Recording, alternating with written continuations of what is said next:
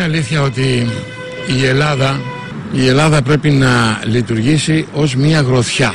Έναν άντρα να χτυπηθεί μαζί μου. Απάντα ρε Μόρτι, είσαι να χτυπηθείτε σαν άντρες. Γροθιά.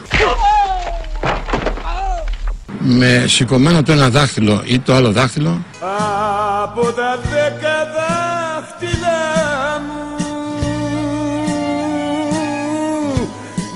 Μόνο τα πέντε θα κρατήσω δεν είναι δυνατόν. Θα χρειαστεί λοιπόν αυτή η γροθιά και προφανώς θα σπάσει το δάχτυλο που δεν θα είναι ενωμένο με τα άλλα. Ε, αυτή τη γροθιά δεν τη βλέπω. Ένα σύννεφο δεν με αφήνει να δω. Ε, έστειλα την επιστολή όπως γνωρίζετε στον Πρωθυπουργό. Μου στέλνεις γράμμα και γράφει. Όπου του ζητώ να γίνουν δύο συναντήσεις. Ένα ραντεβού, ένα ραντεβού. Η μία πριν έρθει η Τρόικα για να καταλήξουμε από κοινού όλοι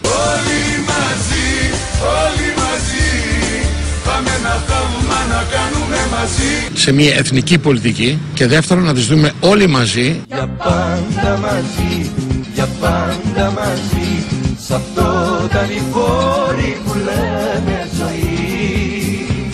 Για πάντα μαζί, κι αν έρθουν καημοί Μαζί θα μας βρουνε για πάντα μαζί.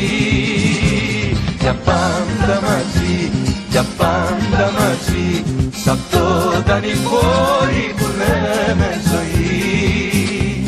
Για πάντα μαζί, κι αν έρθουν καημοί Μαζί θα μας βρουνε για πάντα